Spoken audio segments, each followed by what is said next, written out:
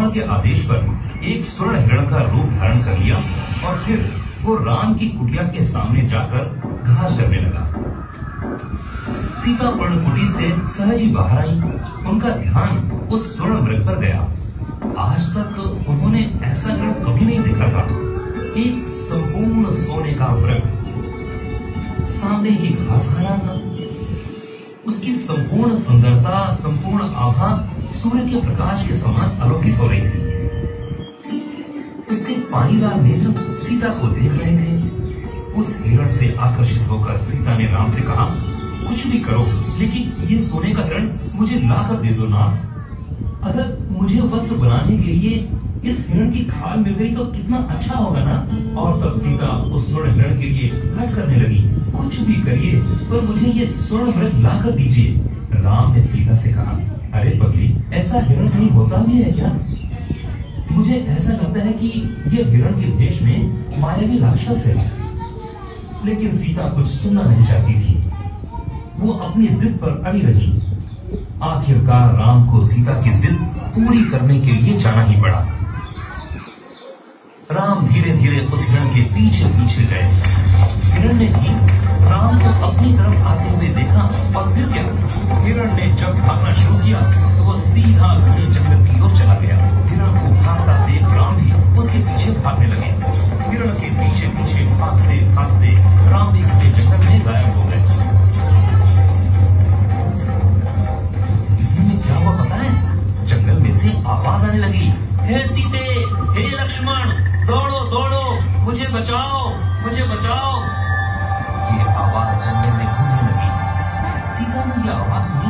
और वो बहुत घबरा गई। उन्हें लगा कि मेरे श्री राम किसी संकट में हैं। इसीलिए उन्होंने लक्ष्मण से कहा कि तुम तुरंत जंगल में जाओ श्री राम को कुछ हो गया है। भैया?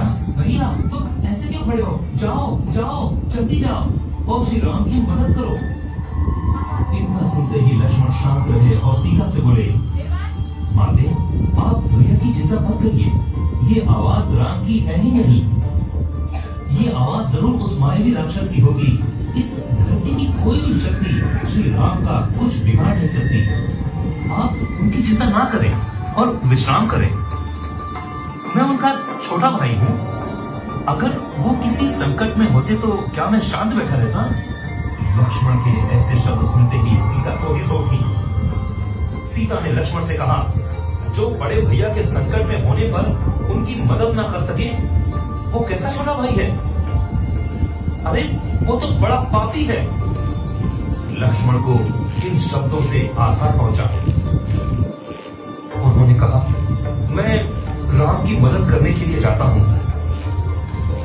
उन्होंने पर्णकुटी के बाहर अपने बाण से एक रेखा खींच दी और सीता से कहा, माते, मैं राम की मदद के लिए जा रहा हूँ, पर मेरा आपसे एक अनुरोध है कि चाहे जो हो जाए आप इस रेखा को पार ना करें। सीता ने लक्ष्मण का कहना मान लिया और फिर लक्ष्मण श्री राम को ढूँढने के लिए जंगल की ओर चल दिए।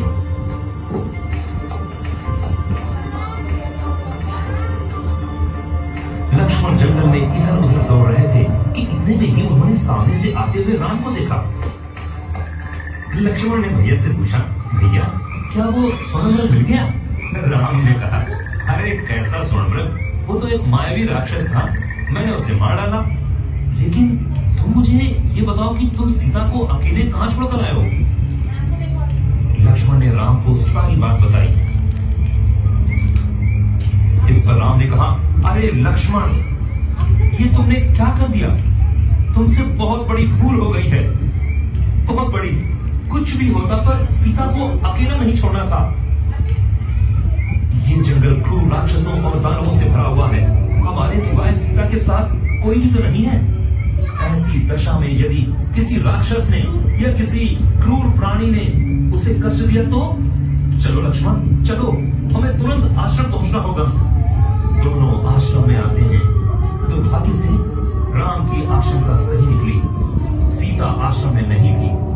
लक्ष्मण जब राम को ढूँढने के लिए वन में गए, तब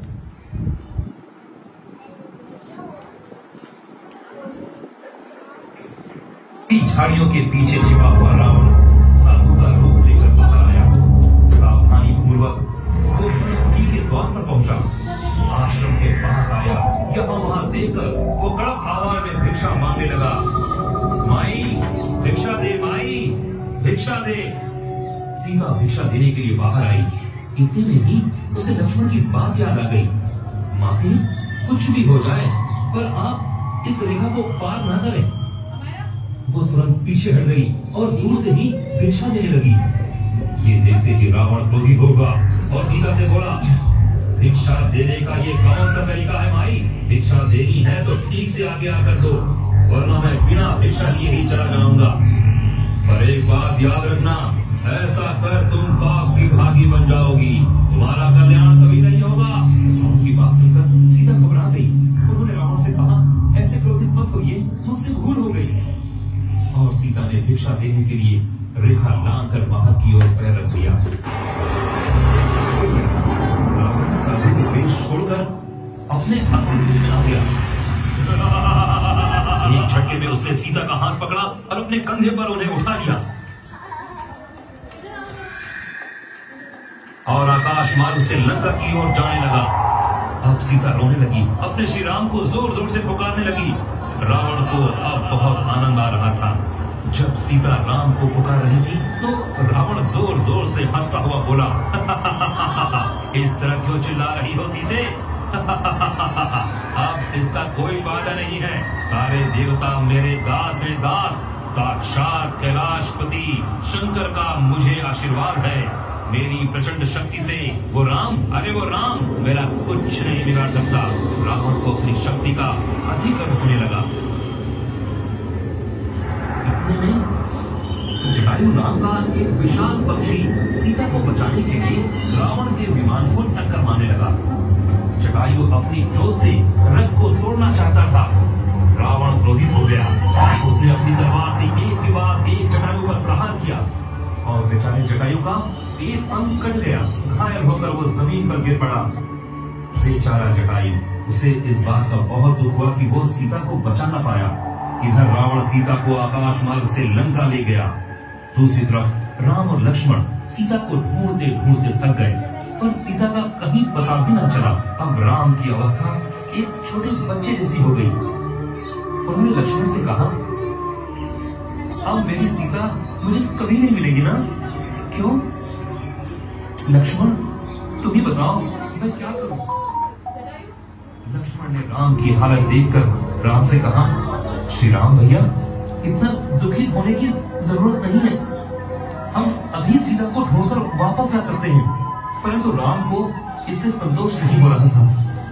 जंगल के सभी पशु पक्षी उनकी पर्णकुटी के पास एकत्रित हो गए थे और सभी दक्षिण दिशा की ओर देख रहे थे। इस प्रकार लक्ष्मण ने ये समझ लिया और राम से कहा, ये प्राणी एक साथ दक्षिण दिशा की ओर क्या देख रहे हैं? राम ने एक क्षण उधर देखा।